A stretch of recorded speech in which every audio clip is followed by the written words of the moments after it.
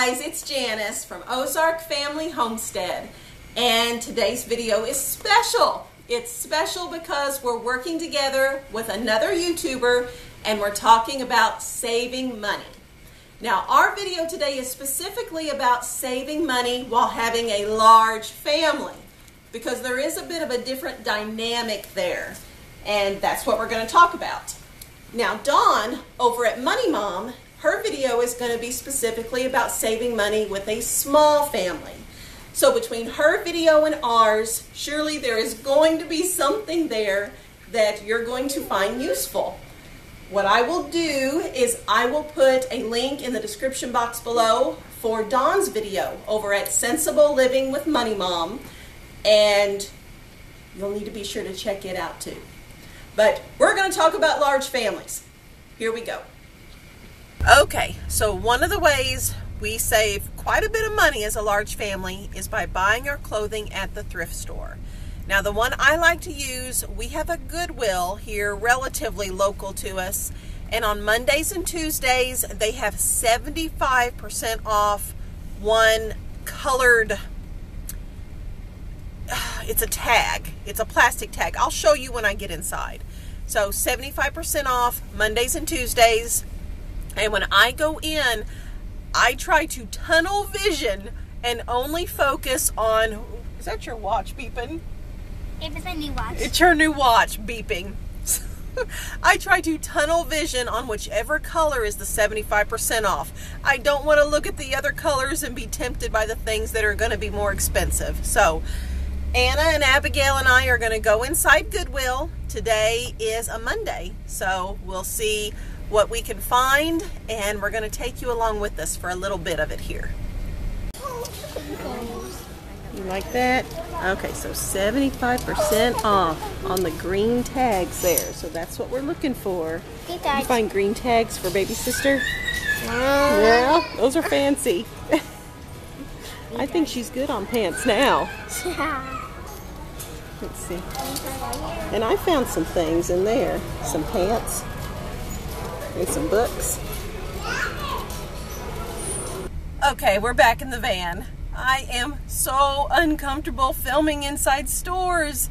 So I don't know how much you could hear. I was trying to talk very quietly so people wouldn't look at me.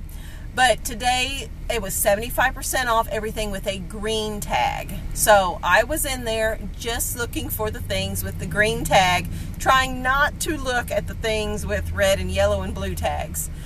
I do always try to hit the blue jeans because I have three boys that blow the knees out of blue jeans just so quickly. So I always check there for the color of the tag that is um, on the sale that day.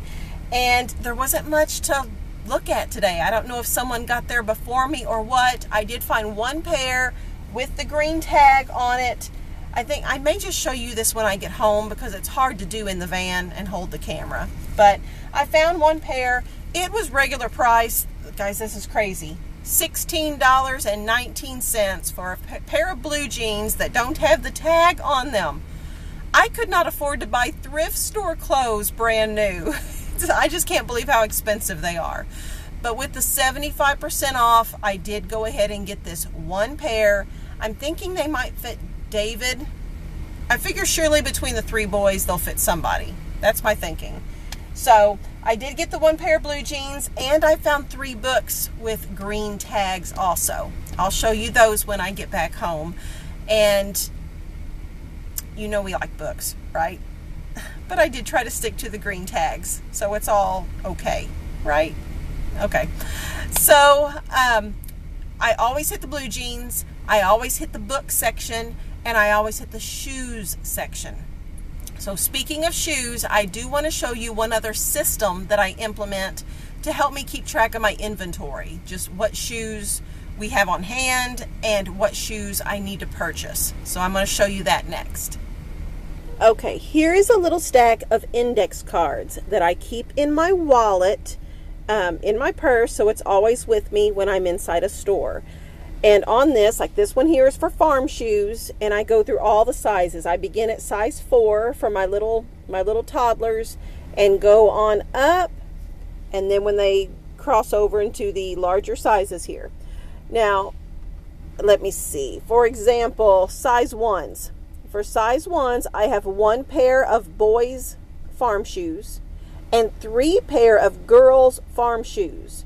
So if I run across a good deal on a pair of girls' farm shoes in size one, I'm going to pass it up because I already have three pair in my storage tubs at the house. Now, on the other hand, if I find a good pair of size 7 shoes that are okay for a boy to wear, I'm going to go ahead and pick those up because I do not have any uh, size 7 shoes for boys, which would be for David at this point, since Samuel and Andrew are above that size. But this helps me to know I can pull this out and um, just know what I have on hand. And I have one of these for girls' town shoes as well. And I have a system. The little star means it's a sandal, a little heart means it's a dress shoe. So, size 9 girls, we have a pair of gold sandals and pink sandals and silver sandals and white dress shoes and some tennis shoes, all in a size 9. So, and this is uh, stapled together because I have more of the girls there in that system. Uh, snow boots. And, oh, there's the boys' town shoes. And then mud boots. Now, one thing I do want to point out your watch is making noise again, Anna. it's six o'clock. Um, one thing I do want to point out for those with large families or anticipating being a large family, something I wish I would have done differently. Mud boots and snow boots. Do not get the pretty pink ones or the pretty blue ones. If you anticipate being a large family, having multiple children, just get some neutral boots that boys, girls, it doesn't matter. Let them wear it. If you're not wanting your little boy to be wearing pink boots uh, from his older sister, then just get some neutral shoes. And um, because we did not do that when Sam was born, you know, we bought blue everything and all that stuff. And then when Sarah came around, we bought pink everything. I wish we would have just bought neutral and everybody can wear it. So that's what I would recommend. But I like my system, it comes in handy and I can put all the things on it that I think is important. All right, quick little Goodwill haul here. I already told you what I've got, but I wanted to show you here, even though it's not much. But the pants, these pants uh, do not have tags on them, but they are Levi's, and they look to be in really good condition. So and they were the green tag. Again, I was just looking for the uh, tags that were part of the 75% off, but I mean, ridiculous $16.19. I just, it bothers me. But with the 75% off, I paid $4.04 for these pants, and I'm good with that.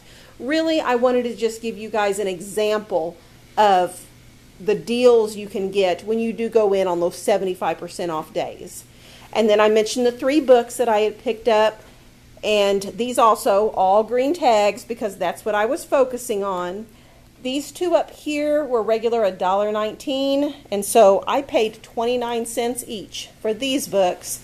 Uh, you know, we're a homeschooling family, so books are a big deal for us. Um, this one is about ancient Greece, and this one is about Admiral Byrd exploring Antarctica. So these will be great on our history shelves. And then this book, I'm not familiar with this title. So if this is a big flop of a book, you guys will have to let me know. It had the seal on it here, and it was from a local high school library. I guess they did a purging of books and donated them to Goodwill. I don't know. But it was a little more expensive. With the 75% off, I ended up paying 56 cents for this one here. So I'm taking a gamble on this one. Um, it, it had the look of a good book. So this one will go on our shelves as well. So again, if your local thrift stores have a 75% off special days, special sale of some sort like that, take advantage of it and you can find really neat things for your family at a fraction of the cost.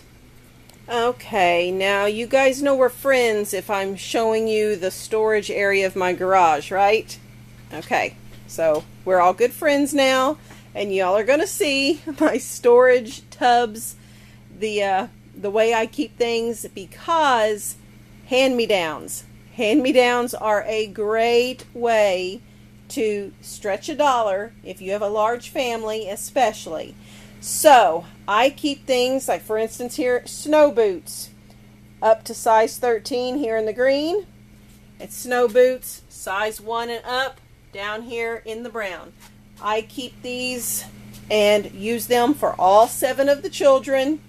Again, going back to the gender neutral, I encourage that as well. And I just label the tubs of clothes. And the girls we just transition things. I even i've even kept my cloth diapers just in case there's an eighth baby.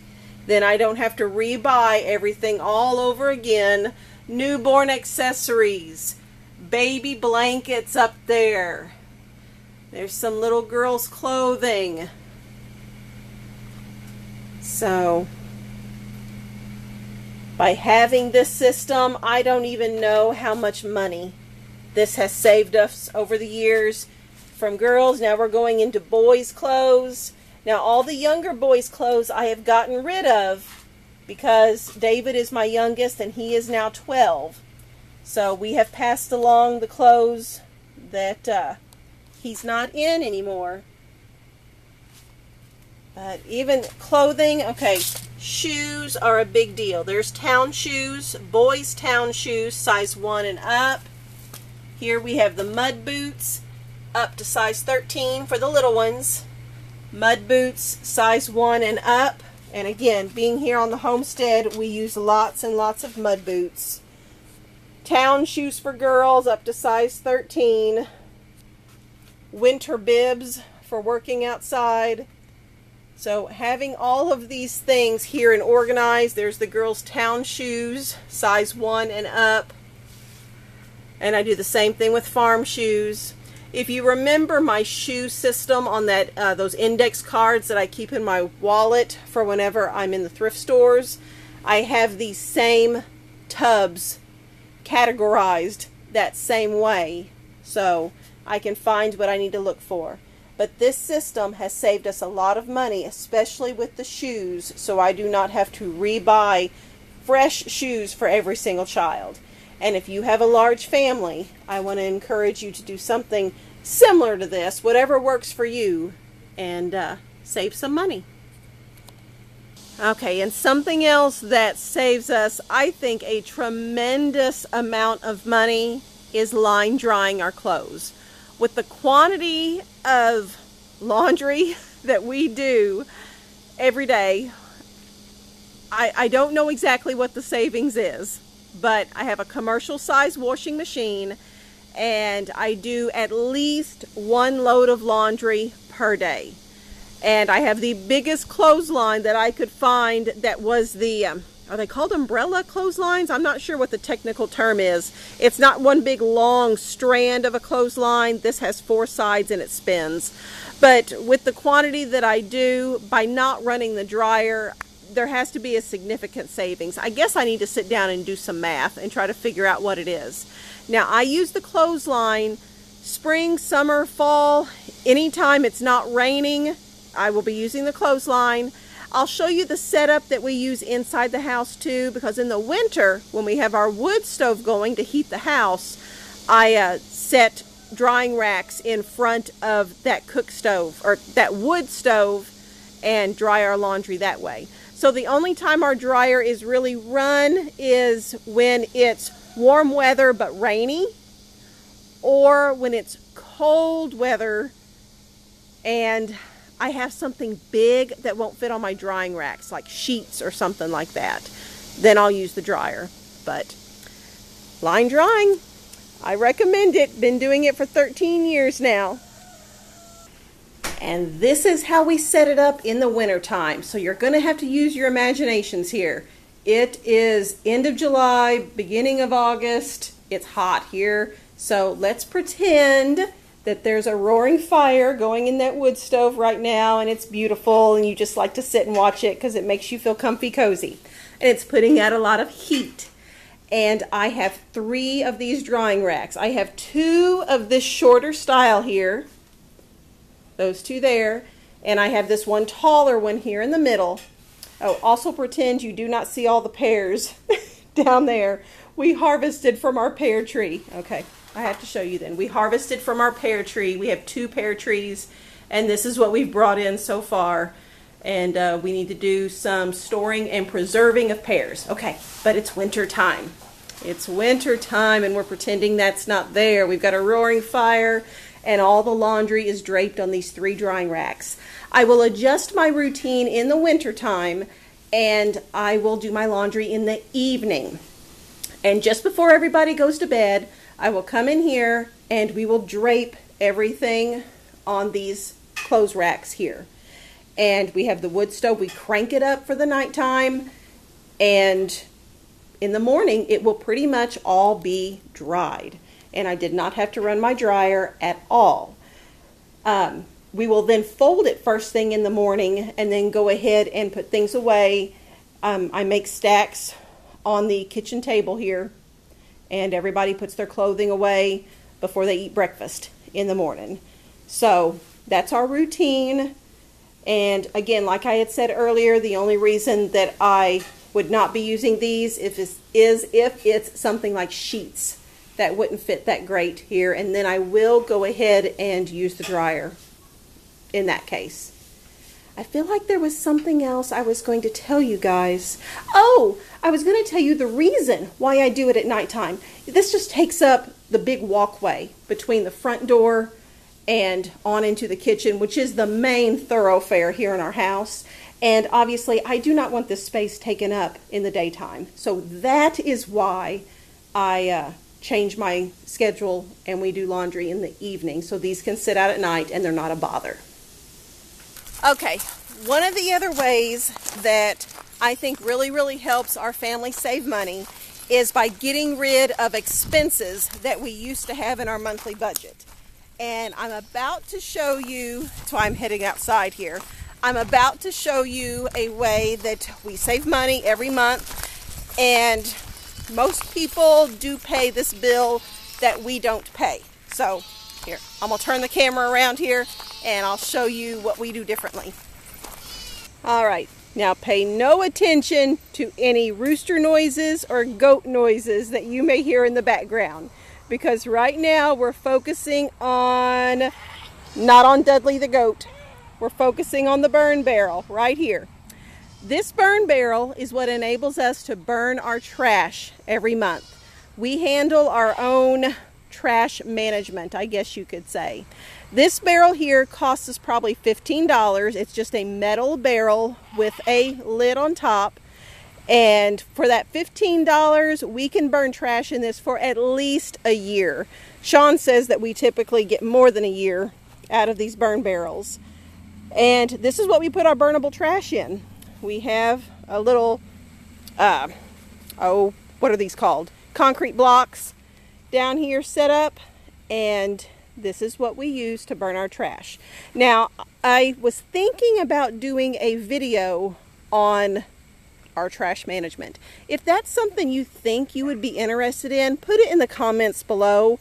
If you guys are interested in how we do it, you know, I'll share the whole the whole routine that we go through with recycling and burnables just all the things. So if you're interested in that, let me know.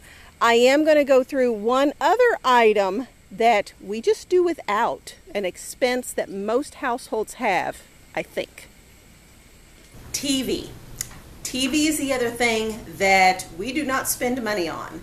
So we have not paid for like cable, satellite, any of that stuff since 2009, whenever we moved out here to this homestead. So no bill for that whatsoever, except there was probably about a five year period where we did have Netflix for that five years. But we have not even done Netflix for a very, very long time. So We don't do Netflix. We don't do Disney Plus. We don't we don't do any of them. I don't know what all of them are even anymore, but we don't do any of them. That's a big big fat zero on our monthly budget. Now, what we do do is we do get DVDs from the library and they will do interlibrary loan for us for free if there's a specific title that we want to watch. Uh, we do have a collection of DVDs here in the entertainment center that the family likes to watch together. And we have YouTube. YouTube is great, you guys. So we can get on YouTube and watch things that our family wants to see too. So, Abigail, are you doing a good job as my camera woman? Mm-hmm. Okay. Abigail's recording for us here. So, thumbs up for Abigail. are you giggling? okay, on to the next thing. Okay, so we're going to talk about next the way that if I have to decrease our monthly budget, I typically go for the grocery aspect of it first. Since we've already pretty much eliminated all the non essential things out of our monthly budget, groceries is where I can cut back. And this is the part where I want to encourage you to grow as much of your own food as you are able to because it does help. It does take some blood, sweat, and tears, but it does help with the grocery budget. So, any fruits or vegetables or eggs, milk, meats that you might be able to grow yourself, look into that. Now, we have a pretty full homestead with the dairy cow and the chickens, and we raise our own meat birds, and we raise ducks, and we have a big garden, and we have an orchard, and we have the berry patches. But I know there are people living in, say, a subdivision, and you can't have those things. But what can you do? Let's look at what you can do and then go from there. Can you have hens, but not a rooster? Some places do that. Uh, some people will eat rabbit meat. Is that something that you can do in your area? Or quail for eggs, or quail for meat. Container gardening. Don't mind the cow. the dairy cow sees me and wants me to come pay attention to her. And she's noisy. My point is to just think about what you can do to raise your own food and become less dependent upon the grocery store, but also decrease your monthly expenses at the same time. Okay, Daisy, I'm coming. Okay, speaking of growing some of your own food, this is just some of the things that we've had brought in just over the last couple days. The green beans here are actually from last year's canning, but we're getting tomatoes and cucumbers and peppers and okra and lemon squash and Chinese long beans and teeny little Tigger cantaloupes. Did I say peppers? I don't even remember. and the eggs and things, of course, too. But we're going to transition from growing your own food to cooking from scratch. So Sarah is over here finishing up some supper. She is cooking from scratch here with a uh, egg roll in a bowl recipe. So let's talk about that just a little bit because this is a huge way to save money. Okay, so even if you're not interested in growing your own food, please look into cooking from scratch. I really think that that is a big, big way to decrease your grocery budget. So, by just having a well stocked pantry with basic food staples, I can pretty much make anything that my family might want. There are a few exceptions, but for the most part, we have just a huge, a huge selection of foods that I can make because I have a well stocked pantry of staples and I know how to make things from scratch. So it really opens up a lot of doors for you. And I know it can get overwhelming, but if you could just start with maybe one new recipe per week, and after a while, you're going to have a whole range of skills under your belt. You're going to have recipes that you're familiar with, and it's going to become easier and easier. There will be a snowball effect here. So, if you do have any specific questions on cooking from scratch, let me know in the comments below there. Also, I'm always looking for ideas for new videos that you guys are interested in. So, if you have suggestions, I'd like to hear them. Oh, you guys, I just about forgot something. Okay, no eating out. we don't eat out. It's not in the budget. We just don't do it. So if our family of nine were to go out to eat, I mean, I'm not kidding, it would easily be a $100 for us to go out to eat. So we just don't. Now, I do put certain things, practices into place here so that I minimize the likelihood of us wanting to go out to eat because that's the trick right there. You have to be prepared ahead of time. So if I know that there is a meal that we are going to be on the road for, we're going to be in town for, I will plan ahead and make sure we have sandwiches packed up. Now I will splurge on the little the the snack, the individual snack baggies of chips. I'll splurge on those and we'll take those along in the van with us whenever we're driving and that keeps us from going through a drive-through. Now there's also times, at least there are for me, where it's evening, it's supper time, time's gotten away from me, it's late, and I will go, I have no desire to cook, or I have no time to cook. So I have to make sure that I have things on hand here in the house that I have bought with the grocery budget and they're fast. They're my fast food here for this large family. And for me, that will be things like the, um, there are bags of frozen chicken strips from Aldi. Uh, blue baggies is what um, ours look like at our Aldi and I will keep a couple of those in the freezer at all times. So if I need fast food, we will cook those up and make big chicken salads um, with those. Or simple things like hot dogs. We don't even eat them with buns. We just have the hot dogs and we can heat up some vegetables real quick and that would be fast food for us. And that keeps us from going through a drive-through or we don't have takeout here in the county where we're at, but maybe keeps you from getting pizza delivery or whatever you have available in your area. So it just takes a little bit of planning ahead and then we don't have that huge expense because I have prepared for those lazy days or busy days or whatever happens to come up. The last food related item I want to touch on real quick I think is fairly common knowledge by this point and that is buying in bulk. If you're feeding a lot of people, it makes sense to buy things in a larger quantity because you typically get a price break per pound, per ounce, per unit if you're buying it that way.